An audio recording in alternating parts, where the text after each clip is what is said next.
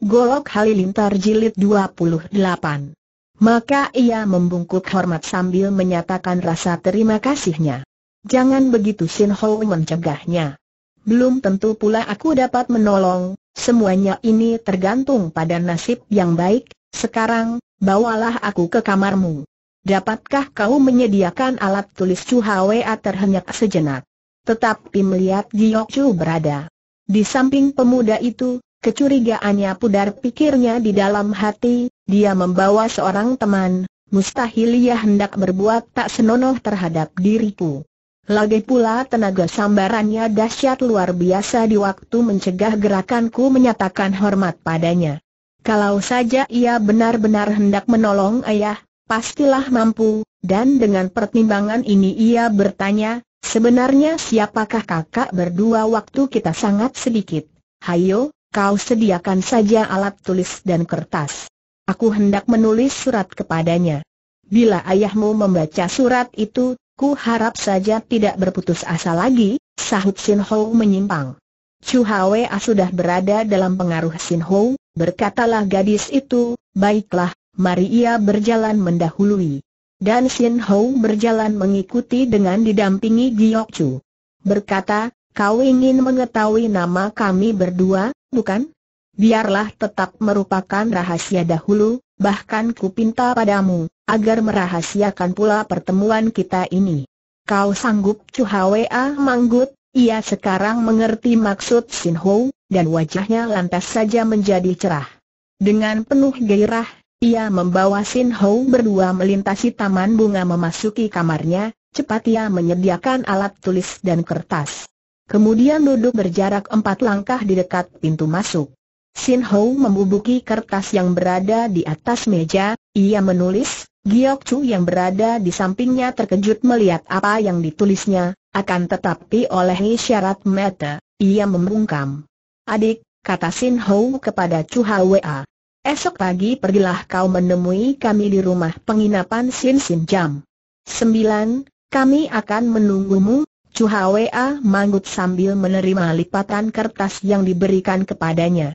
Kata Sin Ho lagi, sampaikan surat ini kepada ayahmu secepat mungkin hanya saja kau harus berjanji kepadaku, katakanlah hendaknya kau rahasiakan pertemukan kita ini bila ayahmu minta keterangan tentang diriku, jangan kau katakan. Kularang kau melukiskan potongan tubuhku dan usiaku, kau mengerti? Chu Hwa heran menegas, kenapa apabila kau sebutkan kesan diriku, tidak akan membantumu lagi? Sin Ho mengesankan. Sebenarnya Chu Hwa masih ingin memperoleh penjelasan. Akan tetapi karena melihat Sin Ho bersungguh-sungguh terpaksa ia manggut. Katanya, baiklah, aku berjanji, Sin Ho menarik lengan Giok Chu. Dengan membawa gadis itu, ia melesat keluar melalui jendela, gesit gerakannya, sehingga untuk kedua kalinya Chu Hwa kagum bukan main, sebentar kemudian, ia tersentak oleh lipatan kertas yang berada di tangannya, cepat-cepat ia berlari menuju ke kamar ayahnya hatinya memukul, tak kala melihat pintu dan jendela kamar ayahnya tertutup rapat. Dengan menghimpun tenaga ia menggempur jendela sampai terbuka. Lalu melompat ke dalam sambil mengacungkan surat. Ayah serunya, Lihat ia melihat ayahnya sedang memegang sebuah cawan, tahulah dia apa isi cawan itu, pastilah ayahnya hendak mengambil jiwanya sendiri dengan meminum racun, karena itu, wajahnya jadi pucat dan suara menggeletar tatkala mengulangi seruannya. Ayah, lihat surat tanda seru simpek, yang menurunkan cawannya ia menoleh dengan pandang kosong, dan Chu berkata lagi sambil membuka lipatan kertas, ayah surat, Bacalah dulu Simpek, Eng menyadarkan pandang matanya, ia melihat lukisan sebilah pedang, dengan tiba-tiba saja cawan yang dipegangnya terlepas jatuh dan hancur berantakan di lantai. Chu Hwa terkejut menyaksikan hal itu, kenapa ayahnya sampai kehilangan tenaganya? Tapi setelah melihat perubahan wajah ayahnya, hatinya bersyukur bukan main, wajah ayahnya yang suram, mendadak berubah berseri-seri penuh cahaya gairah hidup. Siapa-siapa yang memberimu surat ini Simpek, yang menegas dengan suara gemetar. Kedua tangannya meraih surat di tangan Chu Hwa. Apakah dia datang Chu Hwa tak dapat menjawab dengan segera, ia mendekati pelita untuk memperoleh penglihatan lebih jelas. Kemudian ikut memperhatikan surat Sin Ho sama sekali tiada hurufnya, kecuali lukisan sembilan pedang yang aneh bentuknya. Mirip seekor ular yang siap menerkam mangsa, ia tidak mengerti apa sebab ayahnya kegirangan begitu melihat gambar itu. Bertanya, gambar pedang siapa asal dia datang, ayahmu bakal tertolong inilah pedang Gin Choa Kiam. Apakah dia datang menemuimu dia siapa Chu Hwe heran. Pemilik pedang ini. Maksudku yang melukis bentuk pedang ini, kata Simpek Eng. Sekarang barulah Chu Hwa mengerti maksud ayahnya ia manggut seraya berkata, besok pagi aku disuruh mencarinya di suatu tempat. Di mana di rumah penginapan Sin Sin, AKH. Apakah dia tidak berkata bahwa aku pun perlu ikut tidak? Ia tidak berkata begitu, jawab Chu Hwa. Pek Eng menarik napas. Tetapi wajahnya cerah. Katanya setengah berbisik seperti kepada dirinya sendiri, orang gagah luar biasa itu memang aneh perangainya. Kalau dia tidak berkata sesuatu, pasti ada maksudnya sebaliknya bila membuka mulutnya, siapa pun harus taat dan mendengarkan setiap patah perkataannya dengan sungguh-sungguh, baiklah, kau pergilah esok pagi mencarinya. AKH, sedetik saja kau kaset, ayahmu kini sudah berada di tengah awan, mendengar ucapan ayahnya, keringat dingin membasahi tengkuk Chu Hwa. Maka berkatalah dia dengan hati-hati, sekarang, sebaiknya ayah tidur saja, Pek Eng Manggut, ia kini menjadi seorang penurut dengan mendadak. Dan kabar yang menggirangkan itu sebentar saja telah tersiar luas di antara murid-muridnya, istrinya Pek Girang dan bersyukur bukan kepalang. Hanya saja ia masih bimbang terhadap pendekar itu yang katanya hendak datang menolong. Benar-benarkah ia akan datang esok hari? Tapi melihat kecerahan wajah suaminya, ia percaya bahwa bahaya maut telah teratasi. Karena itu, ia tak jadi berkemas. Waktu itu Sin Ho dan Giok Chu sudah jauh meninggalkan rumah Pek Eng. Giok Chu tadi melihat Sin Ho menggambar sebatang pedang yang aneh bentuknya. Waktu itu tak berani ia membuka mulut untuk minta keterangan sekarang tak perlu ia khawatir akan ada lain orang yang mengetahui. Maka bertanyalah ia, sebenarnya pedang apakah yang kau lukis tadi? Bukankah kau telah mendengar keterangan Peng tentang seorang pendekar luar biasa yang memiliki pedang aneh itulah pedang Gin Choa Kia milik almarhum ayahmu, dia yakin, bila ayahmu datang pastilah jiwanya bakal tertolong, dengan melihat bentuk pedang, dia akan teringat ayahmu, terharu hati Giok Chu mendengar keterangan Sin Ho, namun ia heran apa sebab Sin Ho bermaksud menolong jiwa Peng, tanyanya, kau hendak menolong jiwanya. Apakah keuntunganmu kulihat Pek Eng seorang ksatria yang luhur budi? Jawab Sin Ho. Dia kena fitnah dua sahabatnya yang dipercayai. Kalau sampai mati, itulah mati sia-sia belaka. Dapatkah kita menyaksikan dia mati penasaran? Apalagi dia ternyata sahabat ayahmu, oh, begitu?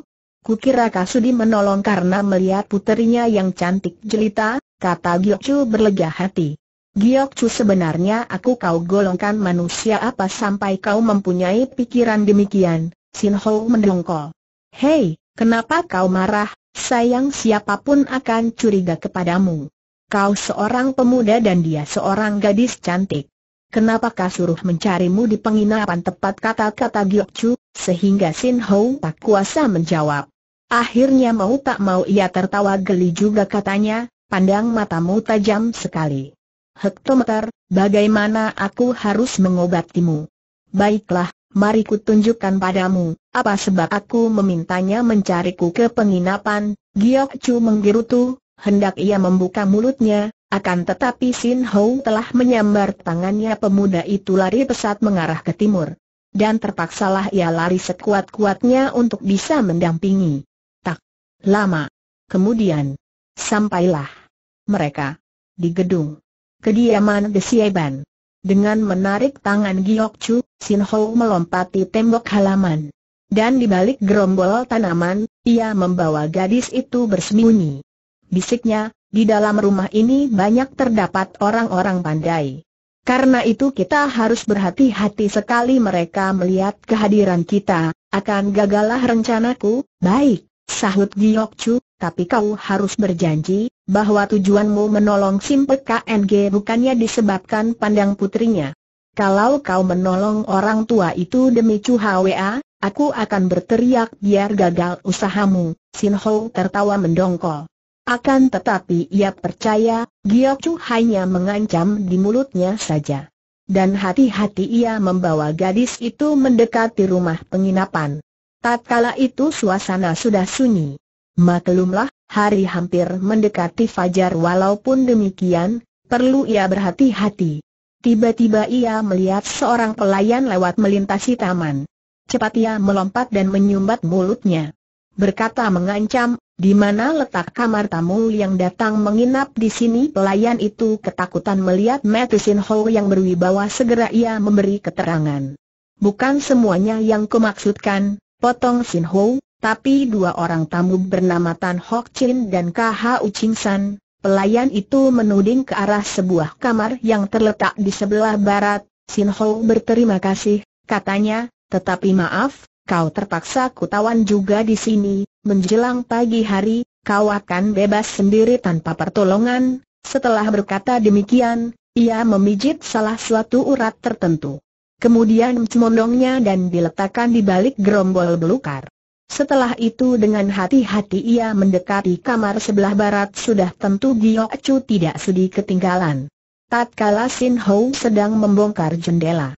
Ia ikut memperhatikan keadaan di sekelilingnya. Hebat cara kerja Sin Ho, dengan tenaga dalamnya yang sempurna, ia menempelkan tangannya. Tiba-tiba saja jendela terbuka dengan sendirinya. Kemudian ia melompat masuk. Giok Chu melompat masuk pula. Sebenarnya, gerakan mereka tiada membersihkan suara sedikit pun juga. Tetapi Tan Hok Chin dan KH Uching San sangat tajam telinganya. Begitu mendengar desir angin, mereka tersentak bangun tetapi begitu bergerak, Sin Ho mendahului mereka membuat tak berdaya.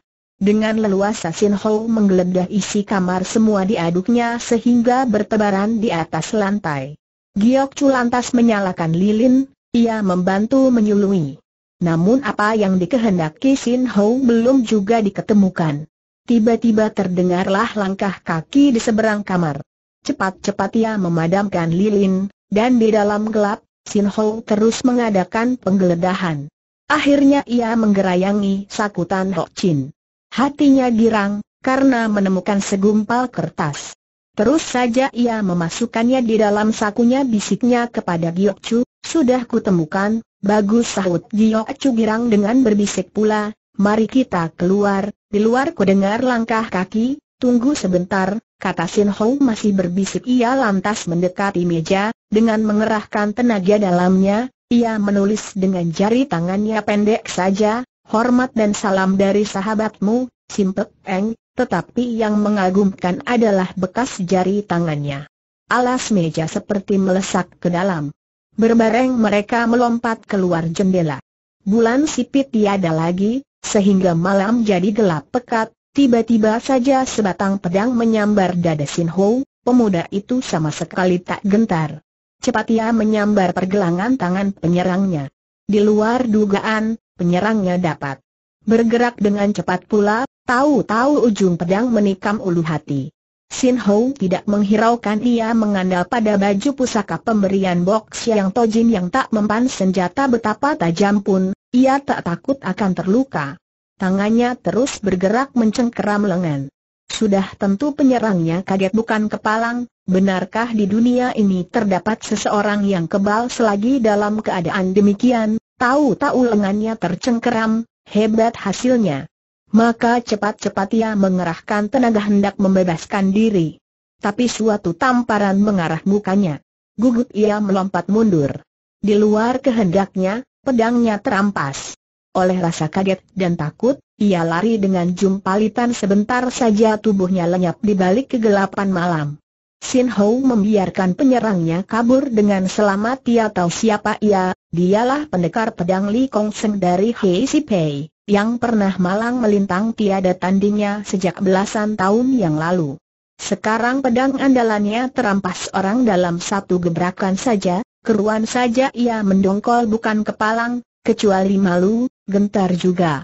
Sieli Uhwa mengalami nasib seperti Li Kong Seng pula, ketika ikut mengintai rumah Simpek Eng, ia kehilangan pedangnya pendekar wanita yang genit itu, hampir saja menangis oleh rasa marah dan penasaran. Meskipun perampas pedangnya tidak berniat jahat, namun perampasan itu sendiri cukup menghinanya. Malam itu, baik Liu Hwa maupun Li Kong Seng, tidak sanggup tidur, mereka berdua diamuk berbagai dugaan dan pikiran pendekar dari manakah sebenarnya yang sanggup merampas pedangnya. Hampir-hampir saja mereka tidak mau percaya, bahwa pedang andalan masing-masing kena terampas. Sebenarnya Li Kong Seng keluar kamar tanpa tujuan ia berjalan mondar-mandir di halaman mencari angin. Tiba-tiba ia melihat cahaya menyala di dalam kamar Tan Hok Chin segera ia menghampiri dan bersembunyi di belakang tanaman. Telinganya yang tajam mendengar suatu kesibukan di dalam kamar itu, cepat ia menghunus pedangnya inilah pencuri yang bosan hidup, pikirnya di dalam hati ia percaya akan dapat merobohkan pencuri itu dalam satu gebrak saja, di luar dugaan, ia gagal bahkan pedangnya kena terampas. Dengan sesungguhnya, Li Kong Seng adalah seorang ahli pedang, di dalam Hesi Pei keahliannya tiada yang dapat menandingi. Tak mengherankan, ia disegani lawan dan kawan.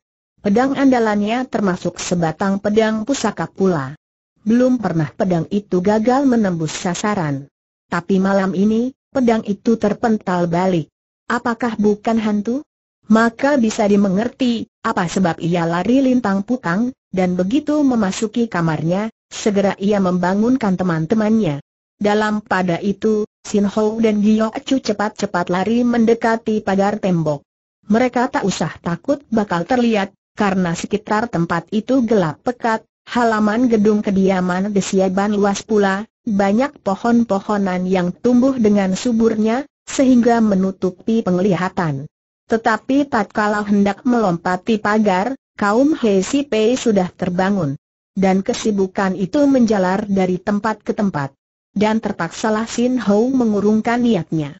Kita bersembunyi dulu ajak Sin Ho, ia tak berani sembrono, karena gedung Desieban penuh dengan pendekar berilmu tinggi. Maka perlahan-lahan ia membawa Giok Chu mendekati tembok dan mendekam rendah di atas tanah. Perasaan Sin Ho memang luar biasa. Tiba-tiba saja di atas genting bermunculan beberapa orang ronder. Coba sekiranya tadi ia tergesa-gesa melompati pagar tembok, mereka akan kepergok dengan ronde-ronde yang berada di atas genting sebelah depan. Hei, apa ini? Tiba-tiba Giok Chu berkata. Coba, rabalah gadis itu membawa tangan Sin Ho ke tempat yang dikehendaki. Mula-mula pemuda itu tak mengerti maksud Giok Chu tetapi setelah meraba beberapa saat lamanya, hatinya mulai tertarik. Kaki pagar tembok itu berlumut sangat tebal tapi aneh. Di antara banyak terdapat lubang-lubang ukiran huruf ya terus meraba dan meraba. Hei, rangkaian huruf ya berseru tertahan dengan berbisik. Coba benar tidak dugaanku ini Giok Chu mengikuti titik tolak kerabaan Sin Ho, ia lantas mengejar, eh, benar-benar terbaca pikirnya di dalam hati. Dan setelah sekian lamanya meraba, akhirnya membaca, Gahul. AKH. Bukankah tanda ini yang kita cari seru Giok Chu berbisik. Hampir sepuluh hari lamanya, mereka mencari istana Gakhawi. Mulai matahari terbit sampai jauh malam, sekarang, tiba-tiba saja mereka menemukan secara kebetulan sekali. Keruan saja mereka girang dan bersyukur bukan main. Gak Hui hidup pada zaman kerajaan Song. Ketika mengalami kekalahan, ia memasuki hutan dan mendaki gunung. Pan Gak Hui yang mengikuti Raja Song dengan setia, kemudian menyusun laskar tentara rakyat di sekitar kota itu, ia mendirikan markas gerilya, karena peristiwa itu terjadi sudah terlalu lama, maka tidaklah mengherankan bila gedung markas besarnya lenyap ditelan oleh sejarah. Sin Ho terpaku oleh rasa girang, tiba-tiba tengkuknya kena hembusan halus hangat, ia menoleh dan melihat Giok Chu tersenyum lebar ia jadi sadar, meskipun kesadaran itu sendiri belum dikehendaki. gerutunya, dalam keadaan begini, masih saja kau bergurau, bergurau justru tidak Giok Chu membantah. Apakah kau akan membiarkan diri kena tangkap? Akah kini Sin Ho tersadar benar-benar. Mari kita pergi mereka mendekam beberapa saat lamanya, setelah yakin tiada lagi ronda di atas genting, cepat-cepat mereka melompati tembok halaman dan lari secepatnya, tepat jam 4 pagi, Tibalah mereka di rumah penginapan dengan selamat tak kurang suatu apa. Tiba di kamar penginapan, Giok Chu segera menyalakan lilin, Sin Ho mengeluarkan gumpalan kertas dari dalam sakunya. Kertas itu sudah kuning kotor oleh usianya, setelah diperiksa, ia merasa gembira. Benar-benar dua helai surat kesaksian yang dikehendaki dalam urusan Simpek Eng. Dengan hilangnya surat itu, Simpek Eng jadi berputus asa, karena dia tidak mempunyai pegangan lagi untuk menghadapi kekalapan Ban yang mengundang begitu banyak orang-orang gagah kenamaan. Kau benar-benar berhasil menolong jiwa ayah si gadis yang cantik jelita itu seru Giok Chu menyindir. Entah dengan apa gadis itu hendak balas budimu, gadis siapa AKH, berlagak lupa lagi. Bukankah Chu Hwe Giok Chu mendengus? Sin Ho tertawa geli, Tak sudi ia melayani sifat Giok Chu yang masih kekanak-kanakan ia lantas mengalihkan perhatiannya kepada bunyi surat kesaksiannya itu, katanya setelah membaca surat-surat itu, benar-benar Simpe Eng tidak berdusta. Apa yang dikatakan benar belaka? Bacalah sendiri. Hektometer, umpama dia berdosa sedikit saja, tak sudi aku membantunya. Apa keuntungannya bentrok dengan beberapa orang gagah angkatan tua dan yang sebaya dengan usiaku? Di antara mereka bahkan terdapat pula murid-muridnya Jia Suheng. Setelah berkata demikian, ia memeriksa lembaran kertas lainnya, tiba-tiba wajahnya berubah menjadi merah padam. Heran Giok Chu melihat perubahan itu, biasanya pemuda itu selalu tenang wajahnya, meskipun hatinya panas dan marah bukan main. Apa sebab kali ini tidak demikian? Surat apa tanyanya ingin tahu. Bacalah sendiri, jawab Sin Ho yang menyerahkan lembaran kertas itu.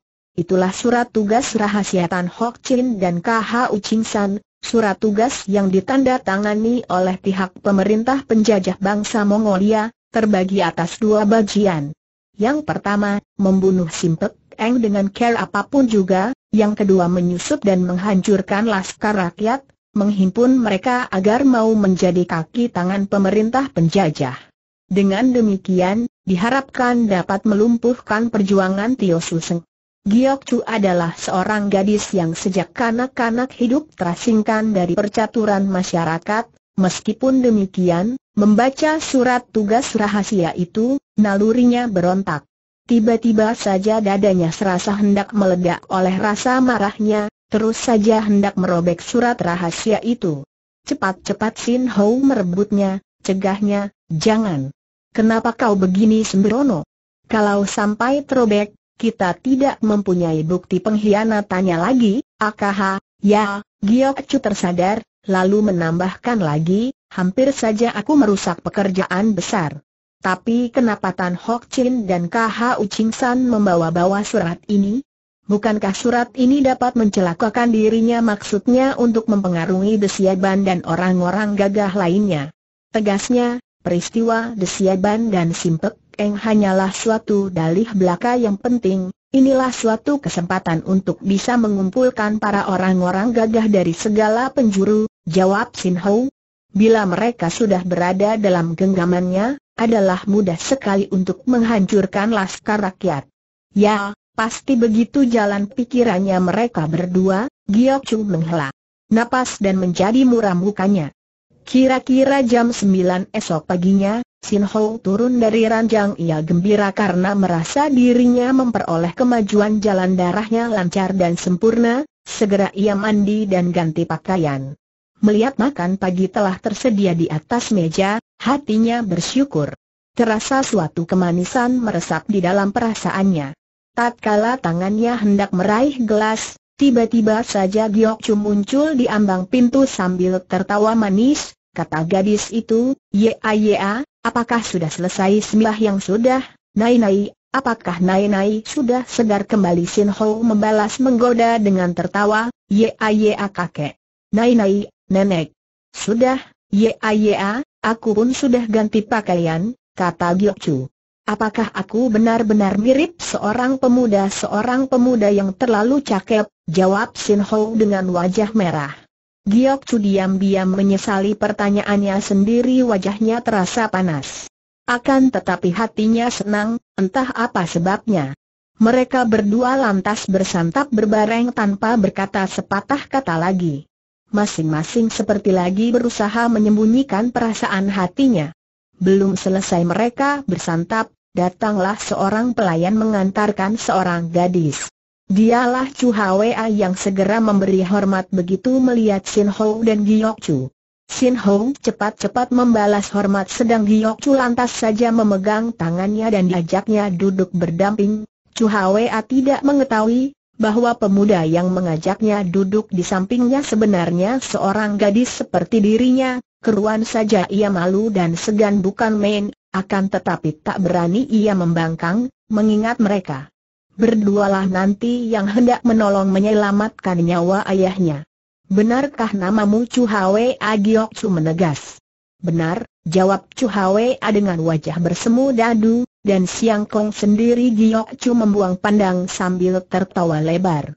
Katanya mengarah kepada Sin Ho, kau tanyalah padanya, sudah beberapa hari ini dia sangat galak kepadaku. Aku dilarangnya memperkenalkan nama sendiri, Chu Hwa mengira Giok Chu sedang bergurau dengan kawannya maka tak berani ia mendesak. Katanya mengalihkan pembicaraan, Siang Kong berdua hendak menolong menyelamatkan jiwa ayahku. Bukan main besar budi ini untukku. Meskipun tubuhku hancur lebur, rasanya kurang termadai sebagai penebus, ayahmu seorang pendekar yang luhur budi, sahut Sin Ho, sudah seharusnya kami berdua berbuat sesuatu, tak usahlah kau pikirkan sebagai suatu jasa yang berlebihan. Bukankah ayahmu nanti sore hendak menyelenggarakan suatu pesta perjamuan benar? Akan tetapi pesan ayah, semuanya terserah kepada Siang Kong berdua, jawab Chu Hwa. Begitukah pesan ayahmu? Kalau begitu sampaikan pesanku, agar ayahmu melanjutkan maksudnya untuk menyelenggarakan pesta perjamuan itu. Kami berdua mempunyai dua bungkus sebagai hadiah, atau katakan sebagai barang sumbangan, hendaklah dua bungkusan itu dibukanya di hadapan para tetamu, manakala suasana sudah menjadi genting. Kurasa, akan sangat berharga, maka jagalah jangan sampai kena hadang orang. Chu Hwa menerima kedua bungkusan pemberian Sin Ho dengan hormat. Heran, ia memperhatikan bentuk dua bungkusan yang diterimanya itu.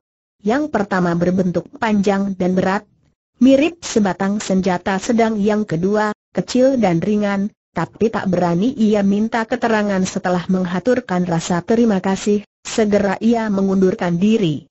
Mari kita ikuti dia. Kita lindungi dia dengan diam-diam, ajak Sin Ho, kita harus menjaganya agar tak terampas kembali oleh pemiliknya, Giok Chu mengangguk. Dan demikianlah, setelah pintu dan jendela kamar tertutup kuat-kuat, mereka segera berangkat, sampai di ruang tengah, Tiba-tiba mereka melihat Chu Hwa masih berada di ruangan depan. Entah apa sebabnya, gadis itu tidak segera pulang, maka cepat mereka berdua bersembunyi di balik dinding, kemudian mengintai. Terdengar Chu Hwa berkata kepada pengurus penginapan, panggillah pemilik rumah penginapan. Majikanmu, maksudku. Katakan padanya, umbul-umbul turun dari celah gunung dan dia pasti akan segera datang kemari, heran Sin Ho memandang Giok Chu.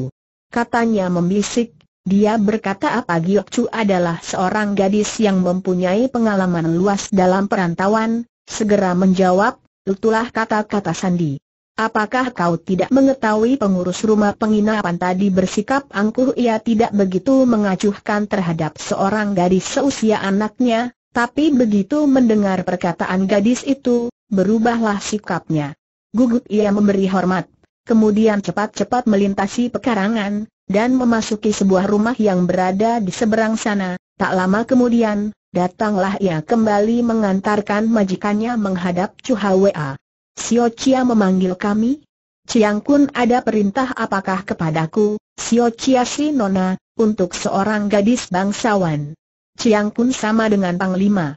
Aku Chu Hwa, anak perempuannya Simpek Eng, jawab Chu Hwa. Pergilah kau ke markas, katakan kepada penjaga bahwa aku memerlukan tenaga beberapa orang, berubah wajah pemilik rumah penginapan begitu mendengar gadis itu menyebutkan namanya. Sama sekali tak dikiranya bahwa gadis yang berada di hadapannya adalah puterinya Simpek Eng, kaget ia, sampai hatinya tergetar segera memberi hormat dua kali, kemudian memberi perintah dua pelayannya agar menyediakan seekor kuda balap, begitu kuda balapnya siap, ia melompat ke atas punggung kuda dan membedalkan bagaikan terbang. Heran dan kagum Sin Ho menyaksikan peristiwa itu, sama sekali tak diduganya, bahwa pengaruh Simpek Eng sangat besar pikirnya di dalam hati. Kalau begitu, tak perlu aku melindunginya lagi, benar saja, tak lama kemudian datanglah 20 laskar bersenjata lengkap. Mereka diantar oleh pemilik rumah penginapan menghadap Chu Hwa. Dan melihat kedatangan mereka, Sin Ho segera kembali ke kamarnya. Katanya kepada Giok Chu, siapa mengira, begini besar pengaruh Sim Susyok. Kalau begitu, benarlah ucapan muridnya, bila saja Sim Susyo mau, dengan sepatah katanya seluruh laskar rakyat siap di belakangnya, kalau sampai terjadi demikian, betapa Ban mampu menuntut balas dendam bahkan dia dan kawan-kawannya lah, yang terancam kemusnahan, lalu, apa yang hendak kau lakukan sekarang tanya Giok Chu. Tidur. Bukankah kau semalam kurang tidur pula sebentar sore kita dapat hadir dalam keadaan segar, benar-benar mereka memasuki kamar masing-masing, sementara Chu Hwa pulang dengan membawa bungkusan pemberian Sin Ho, 20 orang anggota Laskar Rakyat. Mengawalnya dengan rapat berwaspada. Menyaksikan hal itu, baik Sin Ho maupun Giok Chu puas, dengan hati lapang, mereka merebahkan diri di atas ranjangnya, dan tak lama kemudian, mereka tertidur lelap. Sore hari itu tiba dengan diam-diam sebelum mandi, Sin Ho bersemadi di atas ranjang, jalan darahnya terasa lancar pernapasannya lega dan untuk kesekian kalinya selalu saja ia memperoleh kemajuan. Rasa segar bugar menyelimuti hatinya, sehingga ruang benaknya menjadi jernih. Terus saja ia melompat turun dari ranjang, dan tiba-tiba saja Gio Chu telah berada di dekatnya. Baru saja aku membelikan seperangkat pakaian untukmu, katanya, bukankah kita perlu mengenakan pakaian agak mentereng sebagai tamu undangan? Mungkin pula, kita berdua akan merupakan tamu yang istimewa sebentar malam, Sin Ho tertawa. Meskipun ia tidak menghendaki menjadi tamu yang istimewa, namun pakaian itu sendiri tiada celanya untuk dikenakan. Demikianlah, setelah mandi benar-benar ia mengenakan pakaian yang disediakan Giok Chu pandai benar Giok Chu mengukur bentuk dan perawatan tubuhnya, sehingga enak dipakai ia jadi kagum dan terharu oleh kecermatannya. Kita makan dulu, kemudian baru berangkat, katanya. Giok Chu tidak menolak. Dan seperti tadi pagi, mereka berdua berbareng makan, sebenarnya jenis makan siang itu tidaklah mewah, akan tetapi karena makan siang itu baru dimakannya setelah sehari tiba, mereka berdua jadi bernapsu oleh rasa lapar dan dahaga sebentar saja semua makanan dan minuman ikut tersapu bersih pula. Kesan perjamuan jauh berlainan dengan pesta perjamuan yang diselenggarakan di Siaiban semuanya serba teratur dan sopan, maklumlah, Simpek Eng adalah seorang pemimpin tentara rakyat persediaan makan minum serba lengkap, dan anak buahnya biasa terlatih cekatan, sopan dan pandai bergaul. Maka suasananya serasa cerah serta meyakinkan. Tatkala lampu-lampu mulai dinyalakan, seram di depan rumah Pek Eng berubah layak sebuah istana. Saudara-saudara silahkan minum kata Simpek Eng dengan hormat. Desiaiban berdiri mengangkat cawan araknya. Tiba-tiba saja, ia membantingnya di lantai hingga hancur berantakan lalu berteriak bengis, Simpek Eng. Enak saja kau mempersilahkan kami meneguk minumanmu, apakah kau bermaksud menyuap kami? Apakah harga jiwa kau samakan dengan segala minuman dan makanan ini? Di sini telah berkumpul beberapa belas orang-orang gagah kenamaan.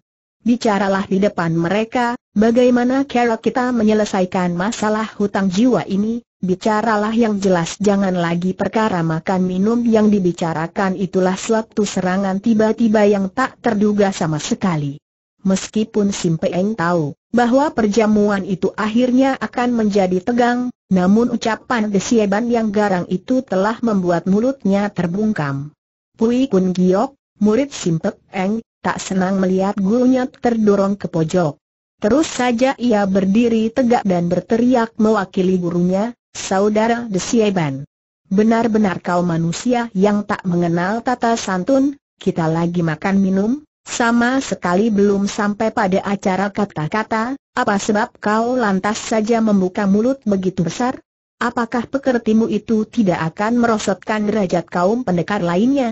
Lagi pula, dengarkanlah baik-baik, bagaimana peristiwa kakakmu terjadi. Kakakmu, mati karena perbuatannya yang keji, dengan licik ia hendak mengadakan pembunuhan, semata-mata, tergiur paras cantik belaka. Guruku, Sekonyong-konyong terasa ada segumpal angin menyambar cepat-cepat Pui Kun Giok menundukkan. Kepalanya ia melihat sesuatu yang berkedip di atas kepalanya. Tatkala menoleh, dilihatnya tiga batang paku berbulu tertancap pada dinding dalam, ia kaget dan gusar. Sin Ho pun demikian pula sebab segera ia mengenal siapakah pembidiknya, itulah senjata rahasia kaum Hoa San Pei. Siapa lagi kalau bukan milik Xie Liu Hwa? Atau Nie San Kiong dan Tiang Yan Bu? Bagus benar teriak Pui Kun Giok sambil menghunus goloknya. Wajahmu, memang cantik. Kabarnya kau kaum Hoa San Pei, kenapa begitu keji? Kau pula lah yang mengutungi lengan kanan adikku seperguruan. Benar-benar perempuan kejam dengan menghunus goloknya, Pui Kun Giok hendak melompat maju menghampiri Xie Liu Hwa, tetapi Simpek Eng buru-buru mencegahnya, katanya mengalah, jangan. Aku tak mengizinkan kau berbuat begitu setelah berkata demikian, ia menoleh kepada Sieli Uhwa, berkata lagi dengan suara hormat, Kolonio, kau murid golongan Hwa Asan Pei, kenapa perangaimu tiada beda dengan muridku? halus ucapan Simpek Eng, tetapi tajamnya tiada beda dengan suatu tikaman pedang, Keruan saja. Desieban tidak rela membiarkan tamu undangannya kena hina, tiba-tiba saja ia menyerang dengan sambitan dua batang pisau, sambil memaki, bangsat. Enak saja kau mengumbar mulut simpek, Eng sama sekali tak gugup kena serangan tiba-tiba, dengan tenang ia menyambut dua batang pisau itu dengan jepitan dua jarinya. Kemudian meletakkan kedua pisau itu di atas meja dengan sabar sekali. Katanya, Kenapa saudara Desieban sangat marah kepadaku? Kita masih cukup mempunyai waktu untuk berbicara sambil makan minum, perbuatan yang tergesa-gesa sering kali tak ada faedahnya. Desieban kaget menyaksikan kepandaian Simpek Eng pikirnya, pantaslah saudaraku mati di tangannya, tetapi ia tak gentar selagi hendak membuka mulut. Li Kong Seng yang berada dekat Simpek Eng melompat, Jago itu menyambar lengan kanan Simpe Eng teriaknya, Saudara Simpe Eng. Kau hebat. Aku ingin menjabat tangan Bu Simpe Eng yang berpengalaman dapat menebak maksud lawannya. Apabila membiarkan lengannya kena sambar, tulang sendinya akan patah. Maka cepat luar biasa ia mengelak sambil melompat mundur itulah gerakan yang sama sekali tak terduga. Maksud Li Kong Seng hendak menjangkau tapi yang kena tersambar tangannya adalah sebuah kursi. Kena gemburan tenaga dalamnya, kursi itu patah berantakan. Mau tak mau Simpek Eng sibuk juga menyaksikan tamunya begitu galak. Kawan-kawan Desieban dengan serentak mencabut senjatanya masing-masing. Murid-muridnya dan beberapa sahabatnya demikian pula, ia khawatir pertempuran akan segera terjadi, sedangkan pendekar Gim Choa Long Kun yang diharapkan belum tiba. Ia percaya, pendekar luar biasa itu pasti dapat melerai perselisihan itu. Dengan demikian, tidak akan terjadi korban sia-sia, oleh pikiran itu, ia mengerlingkan mata kepada Chu Hwa dengan pandang penuh pertanyaan. Chu Hwa mengerti maksud ayahnya ia jadi sibuk pula, dua bungkusan yang diperolehnya dari Sin Hou dipeluknya dengan erat, di luar kehendaknya sendiri, ia mengharapkan terjadinya suatu kejadian gaib yang membersit dari dua bungkusan itu. Kegaiban apa ia tidak tahu sendiri. Tadi pagi Sin Hou berpesan kepadanya, bahwa dua bungkusan itu baru boleh dibukanya, apabila suasana berubah menjadi tegang, hal itu telah dikatakan pula kepada ayahnya, tiba-tiba pada saat itu ia melihat ayahnya memberi isyarat mata. Terus saja ia bangkit sambil membuka dua bungkusan pemberian Sin Hou, ternyata bungkusan itu yang pertama berisikan dua batang pedang. Dan segera ia meletakkan dua batang pedang itu di atas meja. Simpek Eng heran melihat dua batang pedang itu. Tak dapat ia menangkap maksud Ginco Along Kun, pikirannya jadi sibuk menerka. Sebaliknya, di pihak Ban terjadi suatu kesibukan. Li Kong Seng dan Xie Liu Hwa yang segera mengenal pedangnya masing-masing malu bukan kepalang, mereka itu sampai berseru tertahan. Xie Liu Hwa adalah seorang pendekar wanita yang mudah sekali tersinggung, terus saja ia menyambar pedangnya, kemudian menantang, kalau kau memang seorang pendekar, marilah kita bertempur mengadu kepandaian dengan berhadapan. Bukan mencuri seperti maling kesiangan, hayo siapa yang berani mengadu pedang denganku Simpeeng tergugu, benar-benar ia tak mengerti liku-likunya. Dengan pandang minta keterangan, ia menatap wajah putrinya, sebaliknya si Hwa tidak mau mengerti sekali bergerak pedangnya menikam dada. Simpek Eng mundur selangkah sambil mengelak. Salah seorang muridnya datang mengantarkan sebatang golok ia menerima goloknya itu, akan tetapi sama sekali tak membalas. Dan diperlakukan demikian, Liu Hwa merasa dirinya direndahkan, Terus saja ia menusuk pundak kiri. Simpek Eng mengeluh. Mau tak mau ia harus menangkis, dengan suatu tabasan pendek, tiba-tiba goloknya berbelok dan menyapu dari samping di luar kehendaknya sendiri itulah ancaman bagi Sieli Uhwa. Kalau dia berani menangkis, pedangnya pasti tergempur jadi runtuh. Alangkah ia akan malu, tetapi ia salah seorang murid pendekar besar dari aliran Hoa San Pei. Cepat luar biasa ia berkelit menghindar. Dan pada detik itu pula, pedangnya menikam perut mengadakan pembalasan. Sim Peng terkejut, inilah serangan balasan yang hebat, walaupun ia sudah berpengalaman, namun serangan itu sendiri di luar perhitungannya. Tak sempat lagi ia mengadakan pembelaan, satu-satunya jalan hanya melompat. Maka dengan mengerahkan tenaga, kakinya menjejak lantai.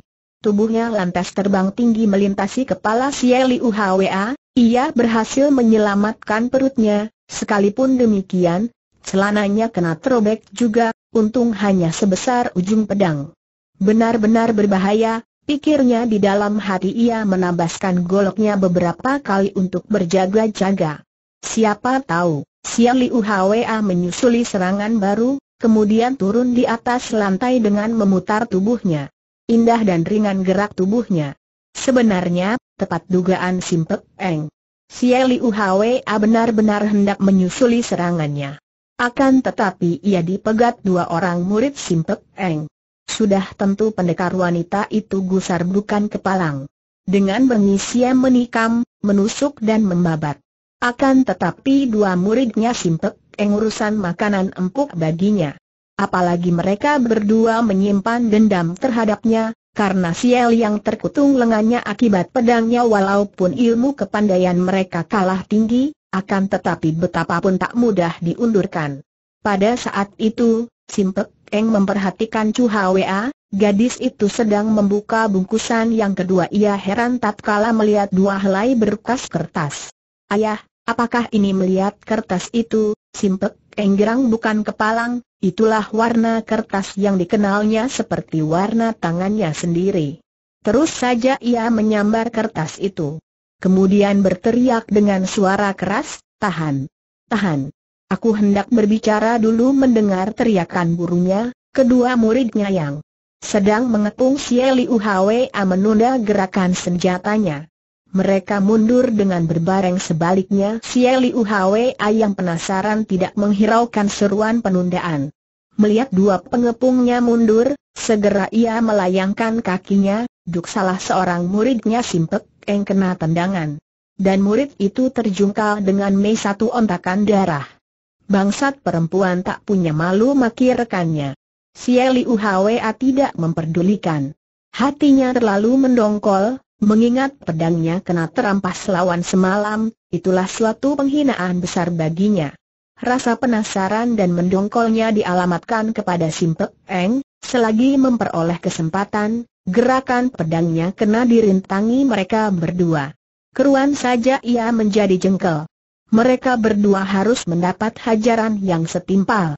Demikianlah ia berhasil menendang salah seorang di antara mereka, sewaktu bergerak mundur oleh seruan gurunya. Sim Peng tahu, perlakuan Sieli Uhwa terhadap muridnya adalah keterlaluan. Tetapi sedapat mungkin ia menguasai diri. Dialihkan pandangnya kepada rombongan Desieban. Berseru, saudara-saudara tolong dengarkan permohonanku ini pada waktu itu suasana tegang sekali kedua belah pihak seakan-akan tidak sudi lagi suara ketiga. Karena itu, Simpek Eng harus mengulangi seruannya beberapa kali, baru setelah ia mengulangi seruannya beberapa kali suasana dapat ditindihnya, dan berkatalah ia lagi, Saudara Desieban.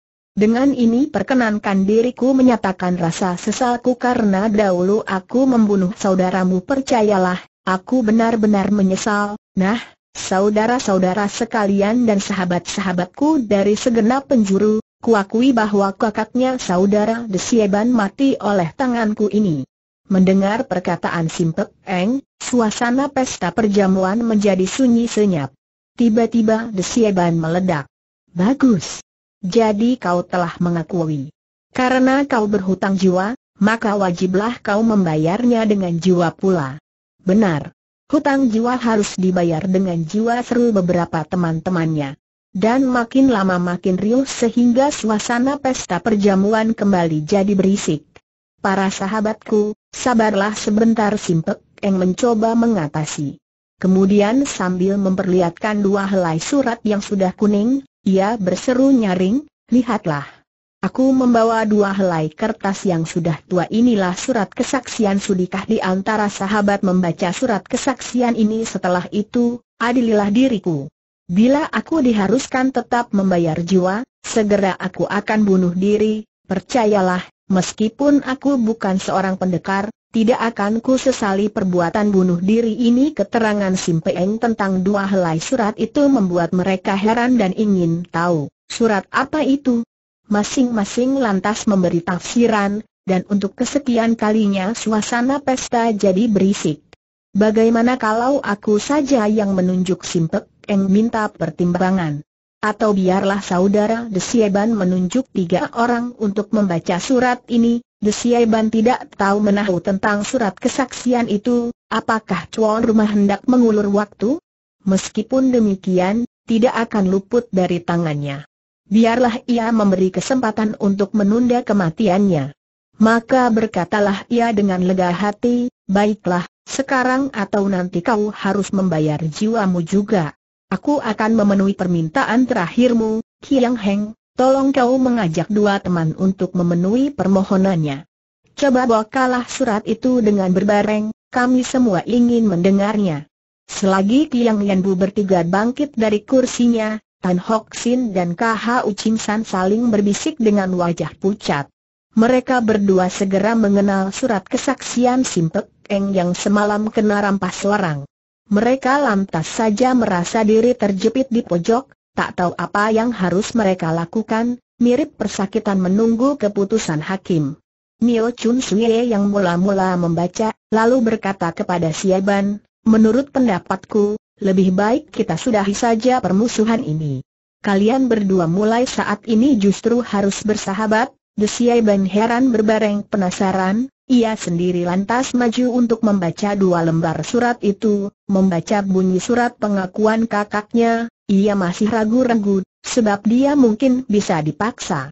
Akan tetapi begitu membaca surat kesaksian pejabat pemerintah yang hampir menjadi korban perbuatan kakaknya, Hatinya terpukul, perasaan malu, kecewa dan bingung berkecamuk dalam dadanya, ia jadi tertegun dengan resah, tiba-tiba Kiang Yanwu yang ikut membaca dari belakang punggung Nio Chun Suyai berteriak, palsui siapa pun dapat membuat surat semacam ini, saudara-saudara jangan sampai kena ditipu manusia terkutuk Inil dan setelah berkata demikian, tiba-tiba ia menyambar dua helai surat kesaksian itu dan dirobeknya, bukan kepalang terkejutnya Simpek Eng melihat kedua surat kesaksiannya kena dirobek, pada saat itu gelaplah pandang matanya maklumlah, kedua surat kesaksian itu merupakan senjata satu satunya untuk mengatasi fitnah. Dengan dirobeknya surat itu, tiada lagi ia mempunyai pegangan serentak ia mencekal goloknya erat-erat sambil berteriak bengis, Kiang Yanbu. Kau datang ke sini membawa nama rumah perguruanmu. Kenapa kau merobek surat seseorang yang bukan milikmu sendiri? Benar-benar kau manusia tak beradab, tak beradab Kiang Yanbu tertawa, Sebenarnya aku atau kau yang pantas disebut manusia tak beradab. Terang-terangan kau telah membunuh kakak rekan Desieban, lalu kau mengada-ada dengan membuat surat kesaksian palsu. Coba bilang, apakah kau tidak malu pada diri sendiri surat kesaksian semacam ini, siapa pun dapat membual. Andai kata aku mengeram satu hari saja di dalam kamar, aku bisa membuat puluhan lembar yang sama rupa dan sama bentuknya.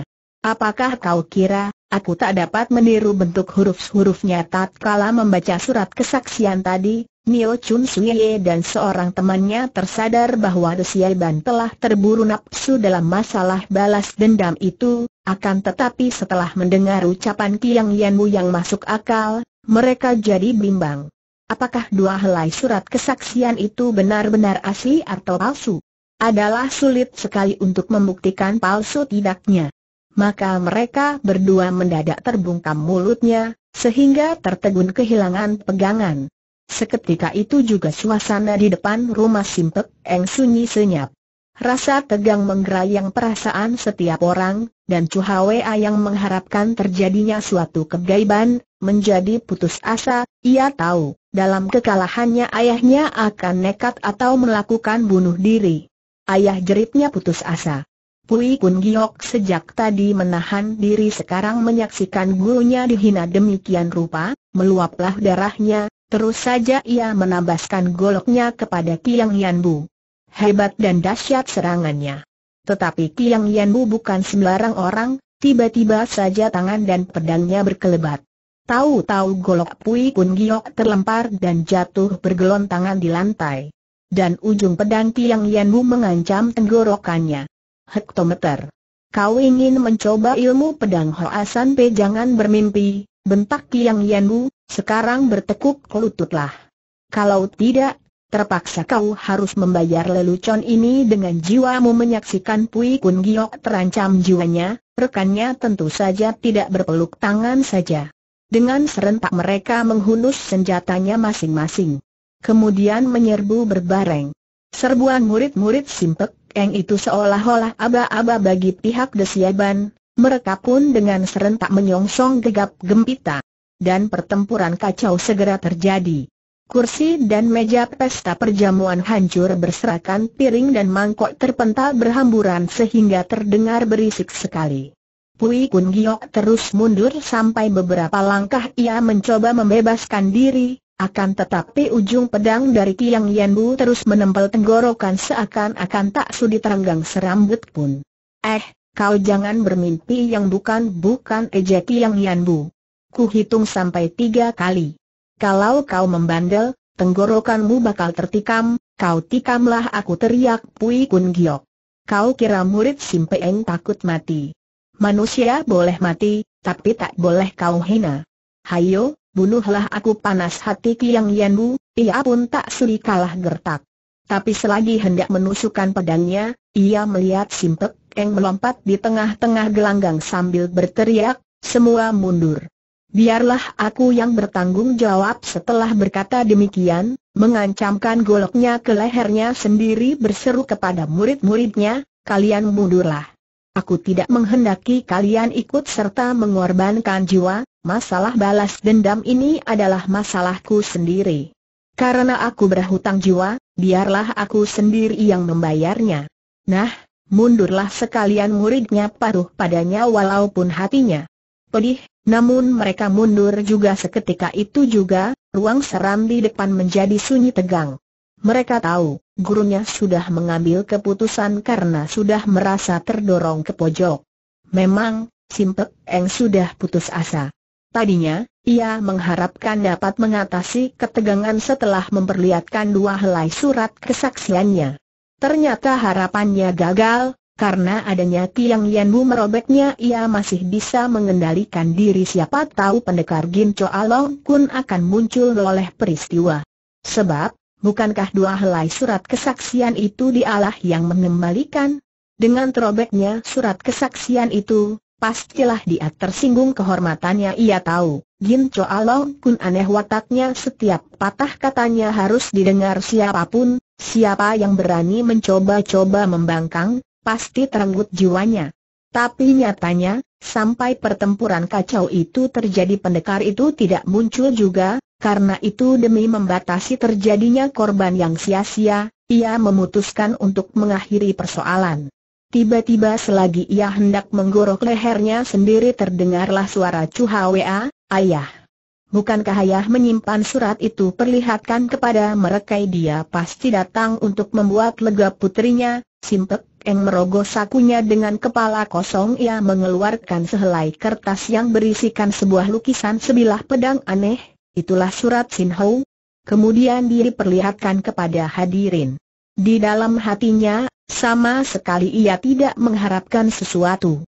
Hal itu dilakukan semata-mata untuk membuat puterinya senang dan berlega. Lalu berseru nyaring, Tai Hiap Gin Choa Long Kun. Kau datang terlambat.